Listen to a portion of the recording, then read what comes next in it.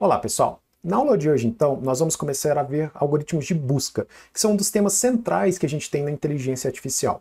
Boa parte dos problemas que a gente tenta resolver com algoritmos de AIs podem ser traduzidos para um problema de busca, em que a gente tem um objetivo a ser alcançado. E fazendo uma modelagem adequada, a gente tem uma série de estados que podem ser percorridos até chegar nesse objetivo. Então a gente parte de um ponto inicial para esse ponto objetivo. É um problema de otimização, a gente pode encarar dessa forma. Tá? Uh, então nós vamos começar a ver alguns tipos de algoritmos que podem ser utilizados para isso. Na aula de hoje, nós vamos ver aqueles algoritmos que fazem uma busca uh, não informada, uma busca exploratória dos nossos dados, uma busca exaustiva muitas vezes, tá? Para tentar achar esse nó objetivo, perfeito? Então vamos lá. Bom, Uh, antes de mais nada, eu gosto sempre de dar aqui os, uh, os créditos, né? Uma parte desse material que eu estou utilizando foi cedido pelos professores Edson Takashi e Gustavo Batista, uh, a quem eu deixo aqui registrado o meu agradecimento. Bom, então como eu já estava comentando, né, uma parte que a gente tem, né, um importante aspecto que a gente tem na inteligência artificial, na inteligência de maneira geral, e em particular aqui na, na IA, é essa questão da solução de problemas baseados em objetivo. Né? Então, uh, o que a gente tenta né, aqui na IA é fazer com que uh, esses problemas sejam resolvidos por meio de mecanismos de busca, certo? Em que a gente tem, como eu já havia comentado, Partimos de um estado inicial, então a gente tem um estado inicial para a gente começar a nossa busca, um ponto de partida, digamos assim. A gente tem uma série de estados intermediários que a gente pode ir percorrendo, até que a gente chegue no nosso estado objetivo, no nosso estado final, uh, que é aquele estado que nos dá a solução adequada para o nosso problema. Tá?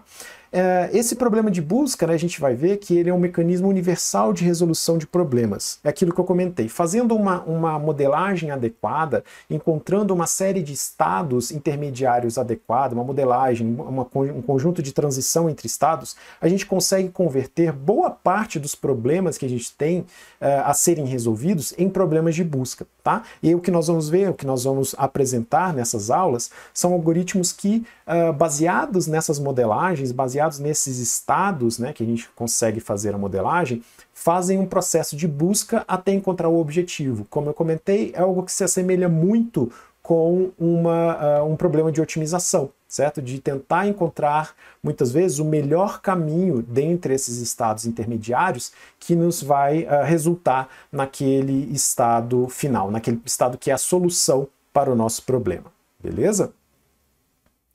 Bom, uh, aqui a gente pode encontrar, né, esse aqui é um exemplo que a gente retira lá do livro do, do Russell, né, que é um problema de busca em cidades, né, em que a gente tem aqui uh, um grafo, certo? Esse aqui é um grafo que muitos de vocês já devem ter visto em algum momento, uma modelagem de alguma coisa baseada em grafos, né, e aqui a gente pode encarar esse grafo, né, a construção desse grafo foi feita da seguinte forma.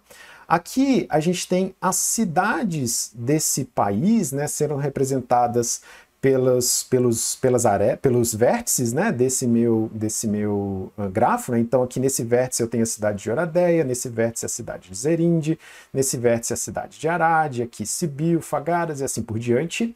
E eu coloco uma aresta ligando dois vértices se existe uma estrada ligando aquelas duas cidades. Tá? Então isso me diz o seguinte, olha, partindo aqui de Oradeia, eu posso chegar em Zerinde e chegar em Sibiu, certo? Tem uma estrada ligando diretamente Oradeia a Sibiu e uma cidade ligando uh, diretamente Oradeia a Zerinde, tá?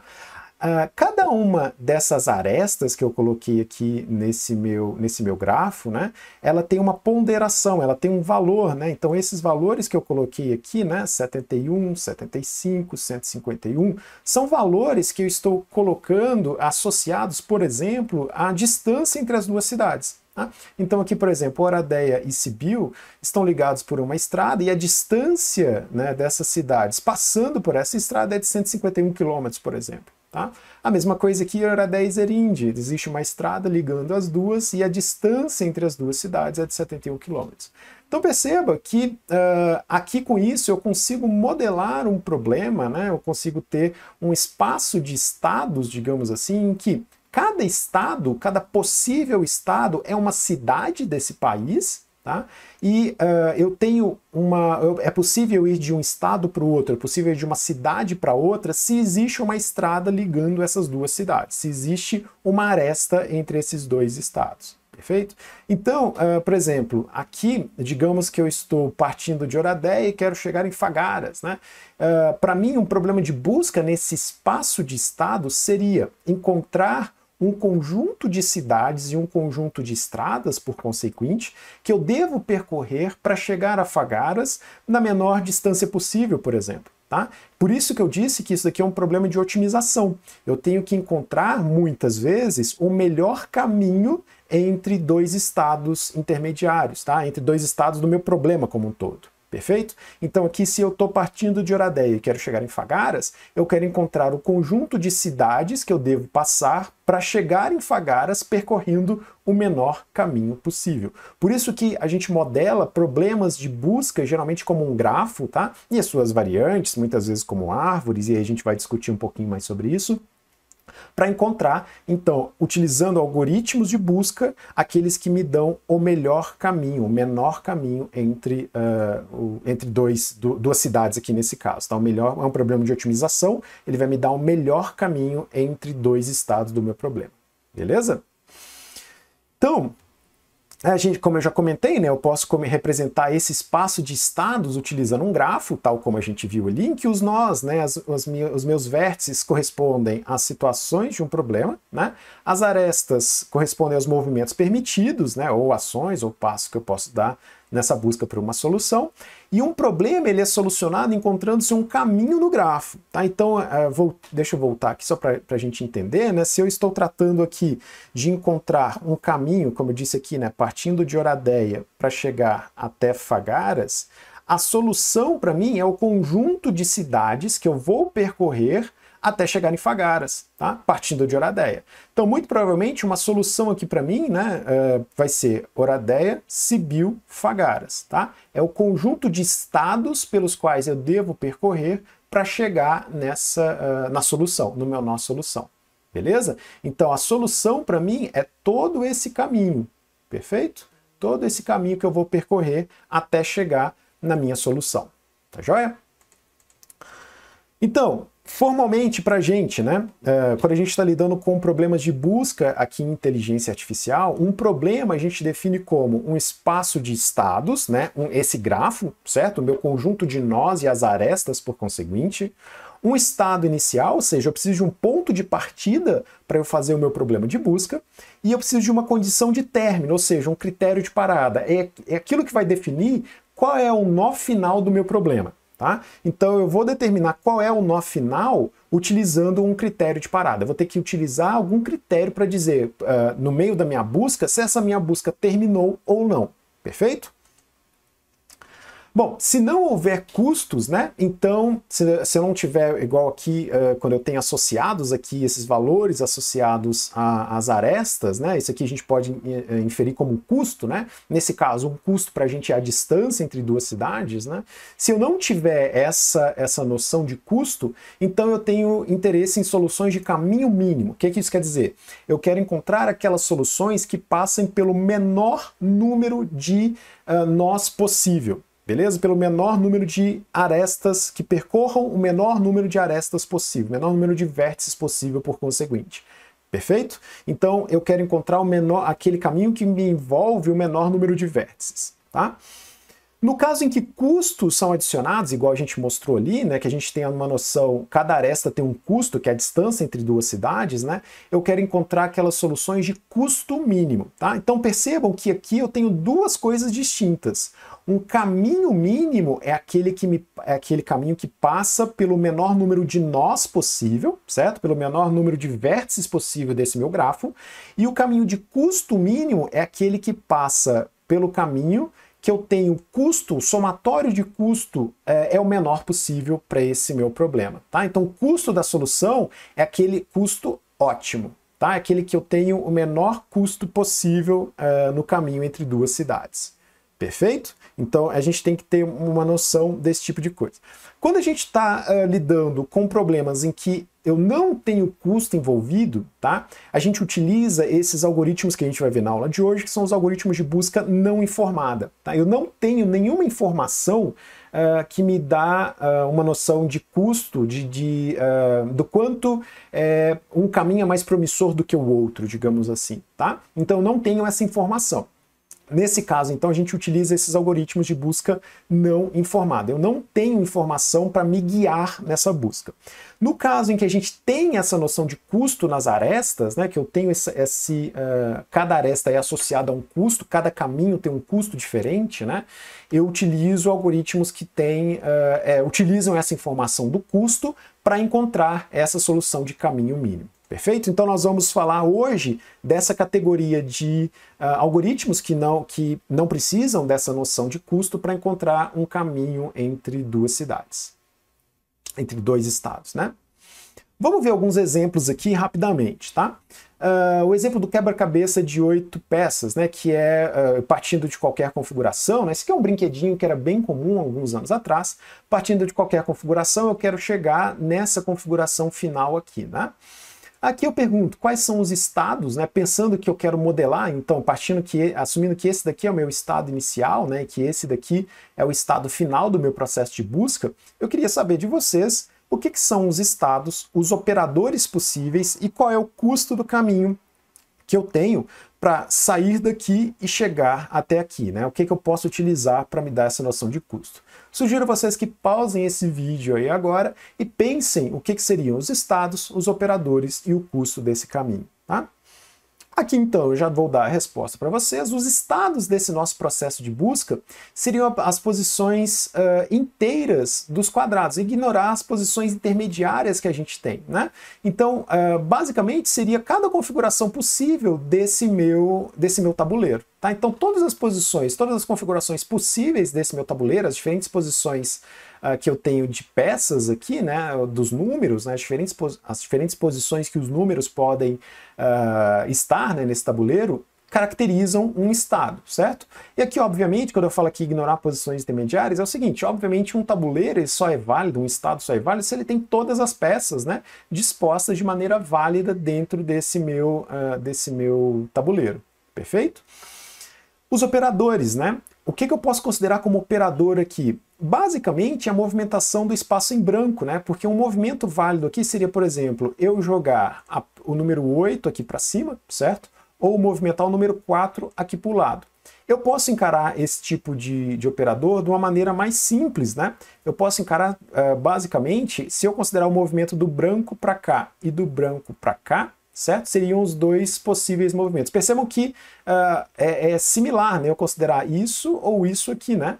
Qualquer um dos dois é, é, seria é, idêntico. Né? Se eu considerar o movimento do branco para cá, o movimentar o branco para cá, o 4 vem para cá. Se eu movimentar o branco para cá, o 8 vem para cá, certo? Então, com isso, a gente tem uh, essa noção. Um operador, então, que pode me... Uh, um operador é aquele, uh, aquilo que me leva de um estado ao outro, né? Basicamente, eu posso considerar como a movimentação desse espaço em branco, certo? Daqui me levaria para um outro estado, perfeito? Estado final é esse estado que a gente quer aqui, né? Então, sempre nesse problema do quebra-cabeça de oito peças, eu tenho esse, essa configuração final, esse daqui é o estado final desejado, né? Que eu tenho as, os números em sequência e o espaço em branco aqui no meio. Uh, e o custo do caminho é um por movimento. Então, cada movimento que eu faço desse, dessa, dessa, do espaço em branco, né, eu posso considerar como uh, um, um, o custo unitário. Né? Então, cada movimento que eu faço, um movimento de um estado ao outro, pode ser considerado como um movimento de custo unitário. Perfeito? Um outro exemplo que a gente pode ter aqui, né, nesse nosso caso, é o problema das oito rainhas, certo? Um outro exemplo clássico que a gente tem, em que uh, o problema das oito rainhas consiste em uh, alocar oito rainhas dentro de um tabuleiro de xadrez, né, de maneira que uh, duas rainhas não se ataquem, certo? Então esse aqui também é um problema de busca, né? Também sugiro a vocês que parem aqui, pensem o que, que seriam os estados, os operadores, um estado final e qual é o custo do caminho que a gente tem para encontrar essa solução. Bom, aqui eu já vou dar a resposta, né? Aqui a gente tem então, o que, que seria o estado né, desse meu problema? Qualquer arranjo que eu tenho de 0 a 8 rainhas no tabuleiro. Então, eu começo, meu estado inicial seria, por exemplo, uh, e aqui eu já posso dar isso, um tabuleiro vazio, certo? Tabuleiro sem nenhuma rainha, tabuleiro com zero rainhas. A partir do momento que eu adiciono uma rainha num tabuleiro, eu movo uh, o, de um, de um estado para o outro. Tá? Então, uh, de maneira análoga, né, quando eu tenho um e adiciono uma nova rainha, né, eu fico com duas rainhas no meu tabuleiro, estou movendo para outro espaço. Tá? Então, a cada rainha que eu vou adicionando, então, uh, eu movo de um estado para o outro, beleza? Operadores aqui para mim seria adicionar uma rainha, certo? Sempre que eu então eu começo com o tabuleiro vazio, adiciono uma rainha, isso é um operador que vai me migrar de um estado para o outro. Adicionei outra rainha, é um operador que vai me migrar de um estado para o outro. Percebam que aqui, nesse meu problema de busca, a única coisa que eu posso fazer então é adicionar uma rainha dentro desse meu tabuleiro, em qualquer um dos quadrados do meu tabuleiro, perfeito? O estado final é qualquer estado que eu tenha que uh, respeite essa regra, em que eu tenho oito rainhas no tabuleiro e nenhum ataque possível entre duas rainhas. Tá? Só, só para a gente uh, entender, né, a regra do xadrez diz que as rainhas podem atacar a qualquer posição na, uh, na vertical, na horizontal e na diagonal, certo? Então, qualquer posição, né, essa aqui, por exemplo, essa rainha poderia atacar qualquer rainha alocada aqui nessa fileira, aqui nessa fileira, aqui nessa diagonal aqui nessa diagonal, perfeito? Então qualquer uh, rainha que estivesse aqui, essa rainha poderia estar atacando, tá joia? Estado final, então, é esse estado, né? E o custo do caminho, ele é zero. Por quê? A gente vai entender isso mais para frente. O único estado possível, o único estado de interesse para mim é o estado final. Para mim, pouco importa o caminho que eu vou percorrer aqui no meio, tá? Esse daqui é um, é um típico problema de busca local, tá? Esse aqui é um típico problema de busca local. A gente vai entender isso mais para frente, perfeito? A gente vai entender uh, na próxima aula, quando a gente vê uma, algumas categorias de algoritmos de busca informada, nós vamos entender como que funcionam esses caras. Basicamente, né, esse aqui é um é, algoritmo de busca local eu posso encarar como problemas de otimização puro, tá? Em que nesse meu problema não me interessa qualquer configuração do meu problema intermediário que não a final. Não me interessa qualquer solução que não a solução final para o meu problema. Tá? Então, nesse meu problema aqui, né, Uh, o único estado de interesse para mim é o estado em que eu tenho oito rainhas alocadas. Qualquer outra configuração do meu tabuleiro não é de interesse para mim, não é, uh, não respeita o meu problema, tá? Não respeita a definição do meu problema. Essa que é a questão, tá? Então, os estados intermediários para mim são pura e simplesmente uh, caminhos, são uh, uh, estados que eu tive que percorrer invariavelmente, eu tenho que passar por aqueles caminhos tá? Eu, eu, vou começar com o meu tabuleiro vazio sempre, eu vou sempre adicionar uma nova rainha ao meu tabuleiro para chegar no meu estado final. Tá? Então, isso é o que caracteriza um problema de busca local. A única coisa que interessa para mim é são configurações que respeitem a definição do meu problema. Tá? Nós vamos falar um pouco mais desses caras mais para frente, beleza?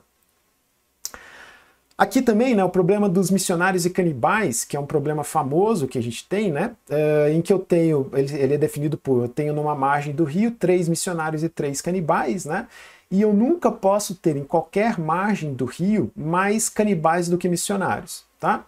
E eu tenho um bote em que eu quero levar todo mundo dessa margem esquerda do meu rio para a margem direita, uh, e esse bote cabem no máximo duas pessoas. E a cada travessia eu posso levar uma ou duas pessoas dentro desse bote para outra margem. Tá? De maneira análoga, pergunto para vocês quais são os estados, os operadores, o estado final e o custo do caminho. Perfeito? Bom, aqui para gente, né, os estados a gente pode definir como uma sequência ordenada né, de três números em que cada número representa, representa o número de missionários, de canibais e de botes na margem esquerda do rio, a margem que eles começam a busca. Tá? Então, meu estado inicial eu posso representar ele numericamente como isso daqui: três missionários, três canibais e um bote estão na margem esquerda. Né? Deixa eu voltar aqui na figura anterior. Aqui está um, um, um, canibal junto com o outro, né? mas aqui eu tenho três canibais aqui, três missionários.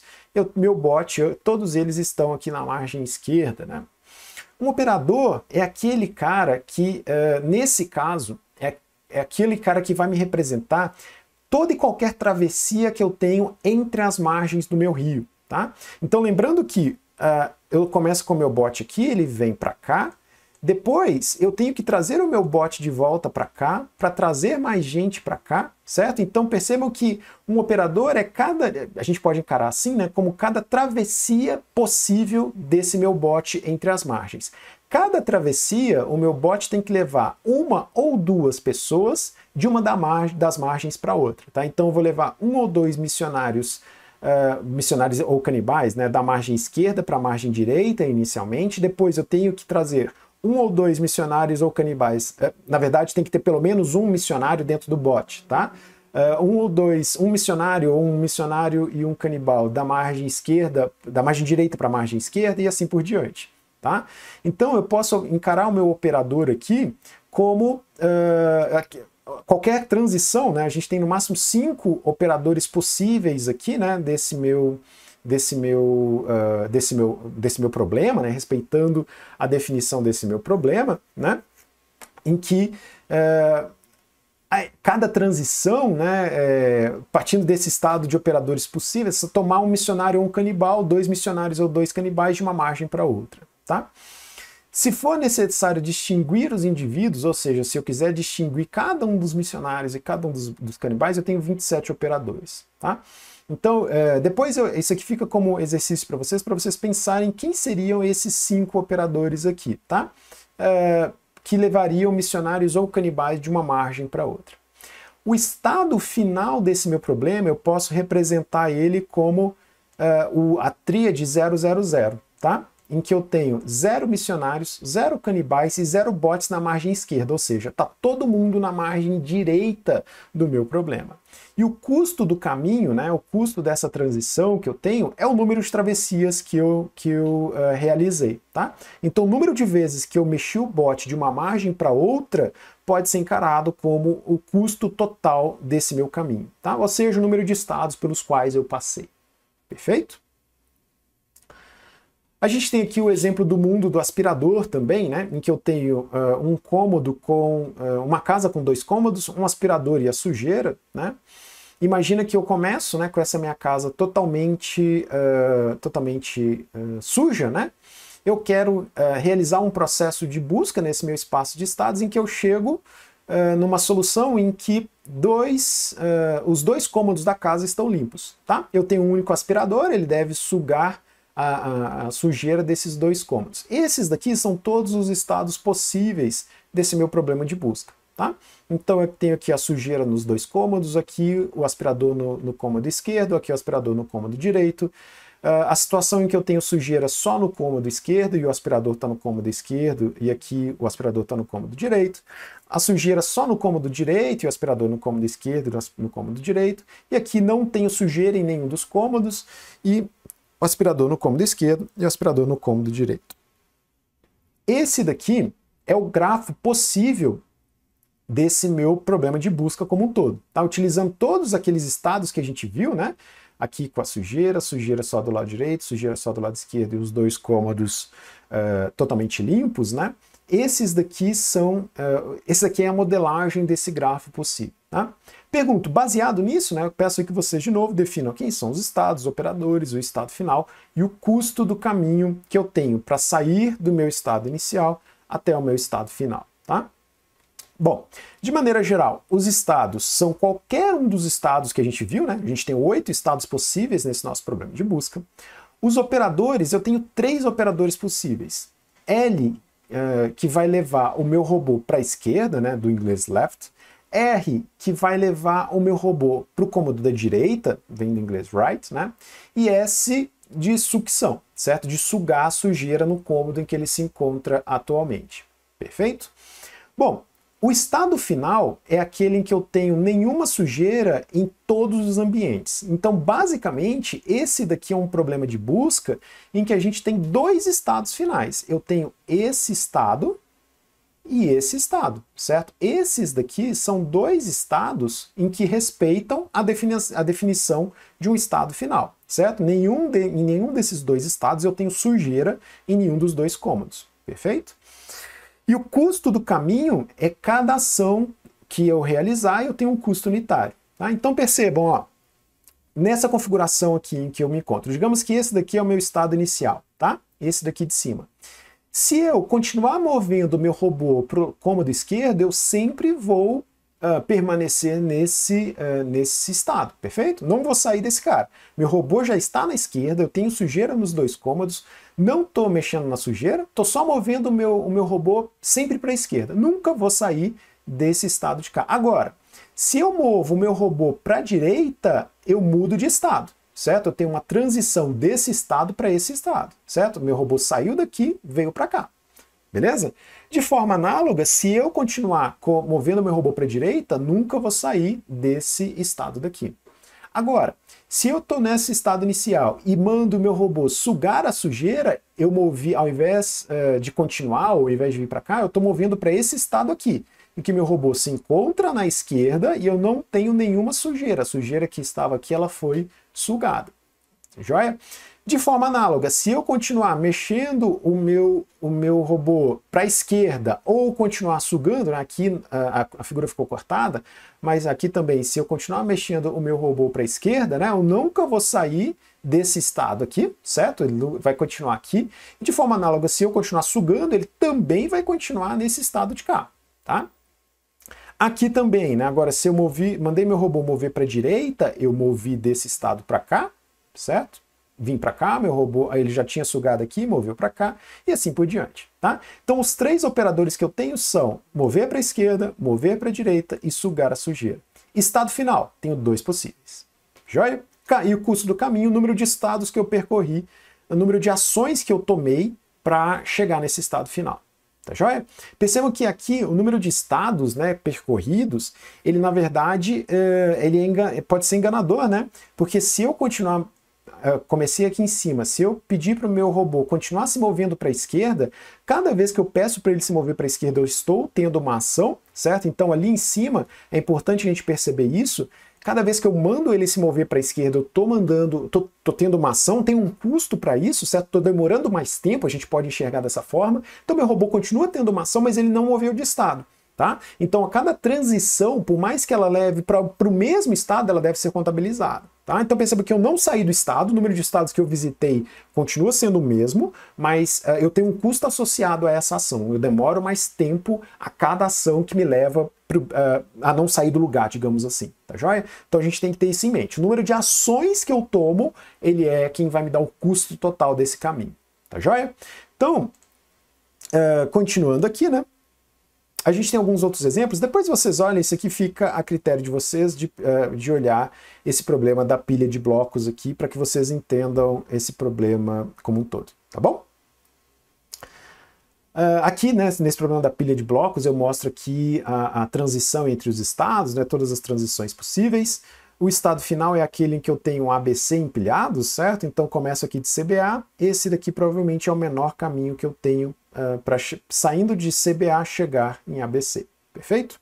Depois vocês olhem a definição e vai muito de encontro ao que a gente uh, já conversou aqui até agora. Bom, em problemas reais, né, o problema de busca, a gente sempre lida, né, eu já falei muito disso uh, aqui, né, muitos problemas que a gente lida é, em problemas de otimização, em problemas de inteligência artificial como um todo, é, eles podem ser traduzidos como problemas de busca. Muitos dos problemas reais que a gente encontra no nosso dia a dia, né, eles podem ser encarados, podem ser traduzidos como problemas de busca. Tá? Então, aqui nesse exemplo que a gente viu, né, é, por exemplo, o problema de encontrar rotas, é um problema que a gente tem uh, muito comum, né? Uh, quando a gente vai utilizar um GPS, por exemplo, ali por trás, ele tem que baseado numa modelagem que ele tem lá dentro dele. Eu estou aqui, quero ir até o FMS, por exemplo. Estou na minha casa, quero ir até o FMS e eu tenho uh, as possíveis ruas que eu posso percorrer para, saindo da minha casa, alcançar o FMS.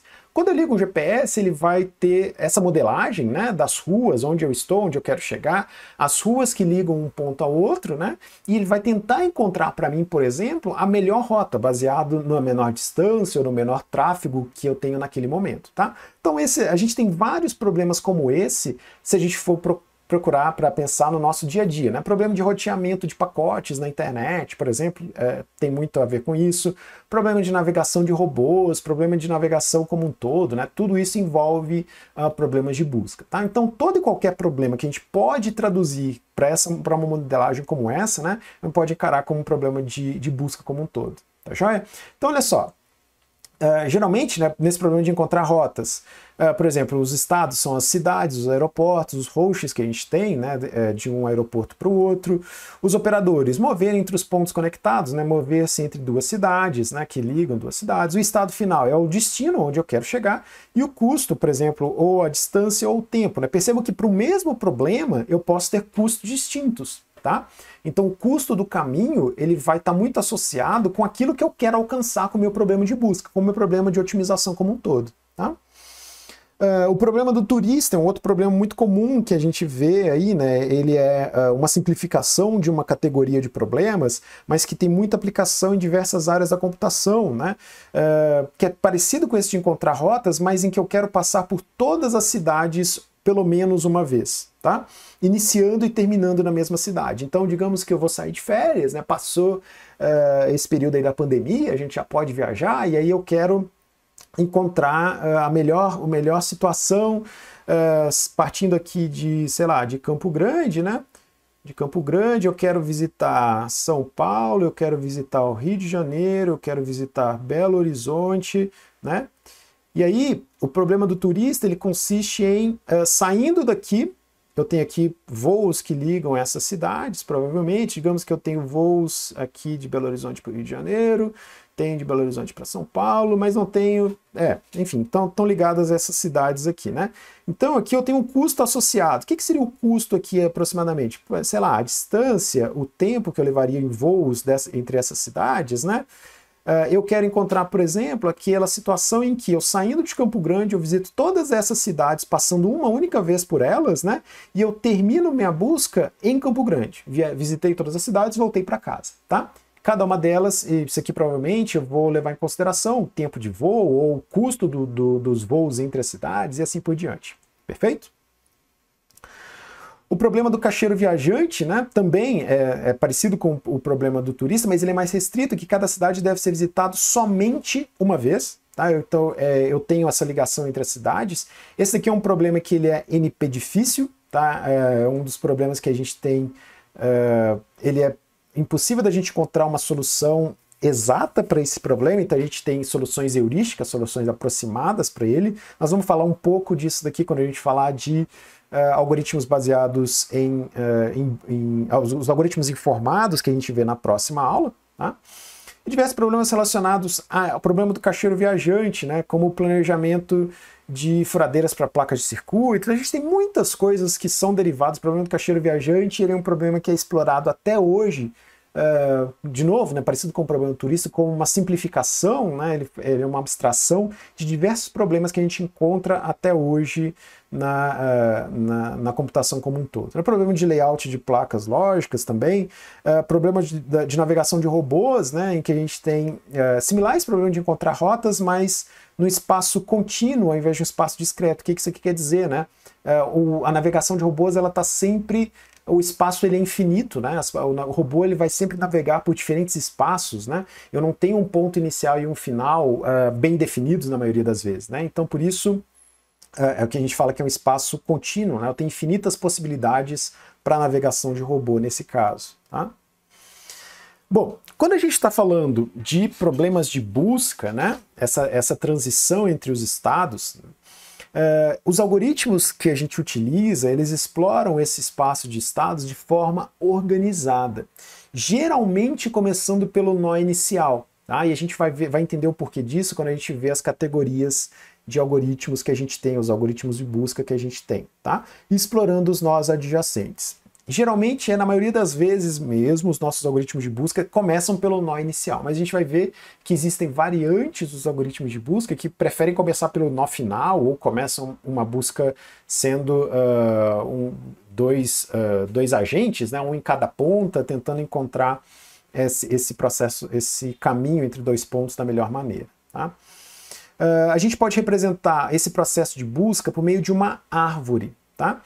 Ilustrando os nós expandidos e os caminhos gerados. Nós vamos ver isso daqui já já. Tá? Além disso, os nós folha que eu tenho, né, são chamados os nós de fronteira, aqueles caras que são os próximos a serem explorados nessa minha, nesse meu processo de busca, tá?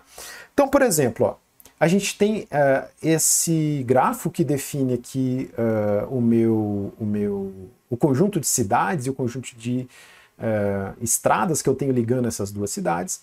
Imagine então que eu, um problema de busca que eu quero partir de Arad e chegar, sei lá, em Bucareste, tá? Então, esse daqui é o meu nó inicial e esse daqui é o meu nó final. Imagine que eu tenho isso daqui, perfeito? Uh, eu posso, por exemplo, saindo de Arad, eu posso uh, visitar as cidades que estão imediatamente associadas a ela, certo? Que estão imediatamente ligadas a ela por uma estrada. Então, partindo de Arad, eu posso chegar uh, em Zerinde, Sibiu ou Timisoara, tá? Então, uh, nesse meu, nesse meu, na minha árvore de busca, eu represento o meu nó inicial. A raiz da minha árvore é o meu nó inicial, certo? Que é Arad, aqui nesse caso, e depois eu vou descendo na minha árvore, uh, explorando essa minha árvore, então uh, eu expando a minha árvore, esse que é o termo, uh, com os nós aos quais eu posso chegar a partir de Arad. Tá? E eu sempre vou seguir uma, uma determinada ordem. Tá? Então, digamos que eu comece aqui por Arad, eu posso chegar em Zerim de Sibiu e Timisoara, Uh, então eu vou guardar esses nós seguindo essa ordem. Primeiro Sibiu, depois Timisoara, depois Zerinde. Tá? Então percebam que aqui eu construo uma árvore que os filhos desse nó são todos os nós a partir que eu posso chegar partindo do nó pai. Os nós filhos são aqueles nós em que eu posso chegar partindo do nó pai. Então se eu for olhar o meu grafo, partindo de Arad, eu posso chegar em Sibiu, Timisoara ou Zerinde. Perfeito? Então, eu vou montando essa árvore. Aqui eu digo que eu expandi esse nó, expandi Arad, e a minha fronteira, os meus nós folha aqui nesse ponto são Sibiu, Timisoara e Zerinde. Fronteira é aquilo que eu vou explorar, são os próximos passos, tá? Então imagina, eu sei, imagino que eu sempre vou fazer uma exploração sempre para o nó mais à esquerda aqui nessa minha árvore, né? Então vou visitar primeiro Sibiu, certo? Então visitando Sibiu, eu posso chegar em uh, Arad, cadê Arad? Uh, Arad está aqui, né? É a cidade em que eu estava anteriormente. Eu posso chegar em Fagaras, aqui. Eu posso chegar em Oradeia, que está aqui. E eu posso chegar em uh, uh, como é que é? Riminicu aqui alguma coisa, certo? Então, Riminicu Vilceia, essa cidade aqui, tá? Então, aqui eu estou colocando os meus nós em ordem alfabética, beleza? Arad, Fagaras, Oradeia, Riminicu Vilceia. Beleza? Então, a partir desse momento, onde eu, o nó que eu visitei foi Sibiu, e os nós folha agora, né, minha fronteira, consiste de Arad, Fagaras, Oradeia, Rimnicu, Vilceia, Timisoara e Zerinde. Perfeito? Percebam que eu posso voltar para o nó, tá? Eu posso voltar para Arad. Se eu voltar para Arad, muito provavelmente eu estou entrando num ciclo aqui, tá? Mas não tem problema. É, eu tenho que representar todas as possibilidades na minha árvore. Perfeito? Então, uh, tem alguns caminhos que são redundantes nessa minha, no meu problema de busca, né? Alguns problemas possuem ciclos, e é isso que eu falei, né? Ciclo ou laço é a mesma coisa, que me levam a caminhos redundantes, tá? Então, caminhos redundantes não podem ser evitados em alguns problemas, né? por exemplo, aqueles que são em que as ações são uh, reversíveis, tá?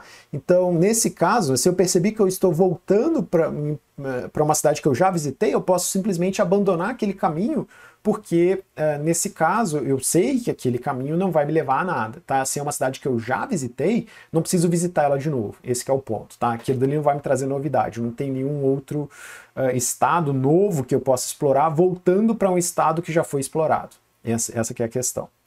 E a solução que a gente tem para evitar caminhos redundantes né, é manter uma estrutura de dados com todos os estados que já foram explorados, ou seja, pensando no problema de visitar cidades, né, manter de alguma forma numa estrutura de dados, numa lista, por exemplo, todas as cidades que eu já visitei. Tá? Então, para eu não voltar numa cidade que eu já visitei naquele caminho, eu guardo numa lista esse conjunto de estados uh, já visitados, que a gente dá o nome geralmente de conjunto explorado. Tá?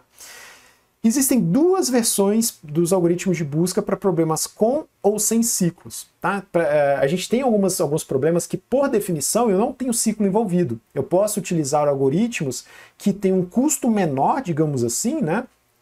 Uh, porque eles não precisam guardar esse conjunto explorado, por exemplo, né, uh, para saber uh, se eu estou entrando num ciclo ou não.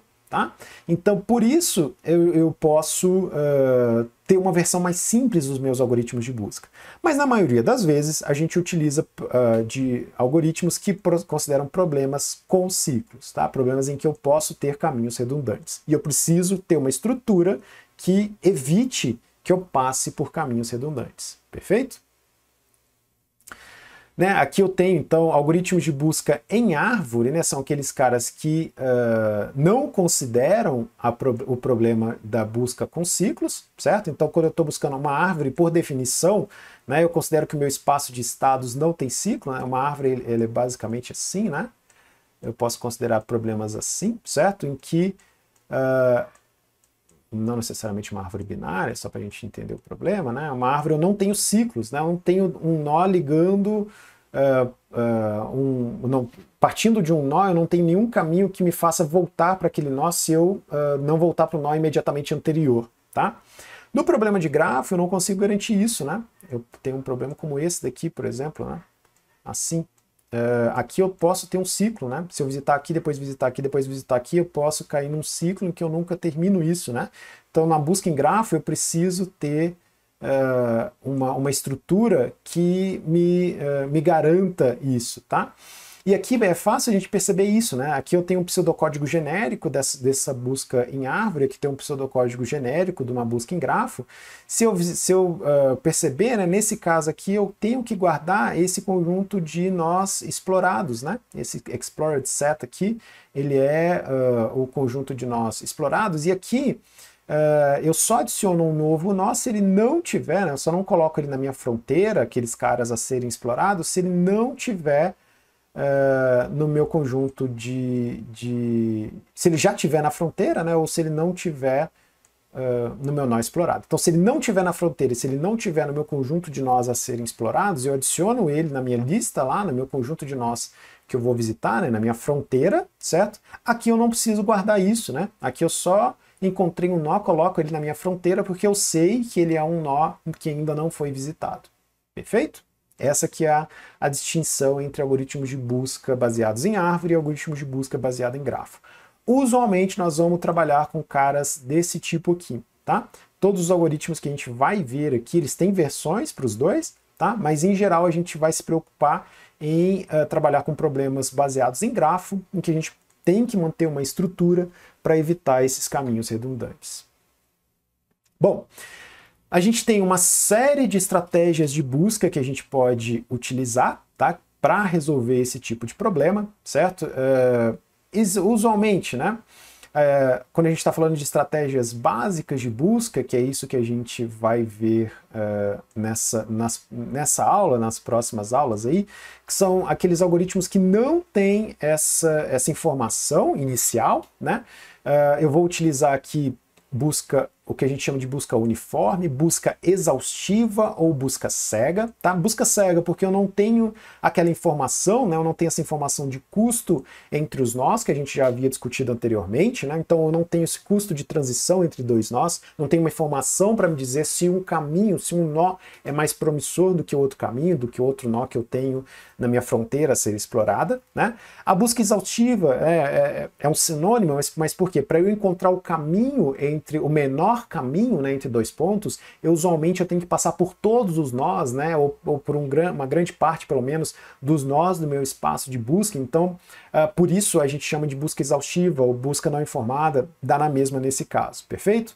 Então, uh, exemplos né, desse cara aqui que a gente tem. Busca em, em largura, busca em profundidade, né? busca em largura, busca em profundidade, são dois algoritmos tradicionais que a gente vê usualmente na graduação. Para quem não viu, a gente ainda vai, uh, vai trabalhar um pouquinho com esses caras. Algumas variantes da busca em profundidade, busca com profundidade limitada, busca com profundidade uh, limitada iterativa e busca bidirecional. Nós vamos ver um pouquinho desses caras todos aqui.